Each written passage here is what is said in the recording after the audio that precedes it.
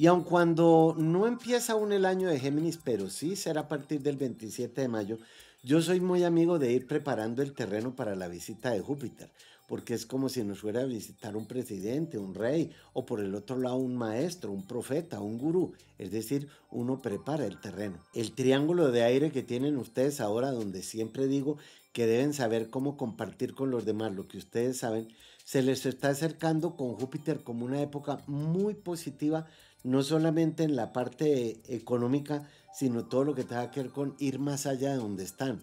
A Júpiter le encanta viajar, como el dedito de Géminis es el anular, Géminis, Libra y Sagitario y Acuario, el dedo anular, ¿qué significa? Es el de en el que ustedes hacen compromisos de palabra con otras personas.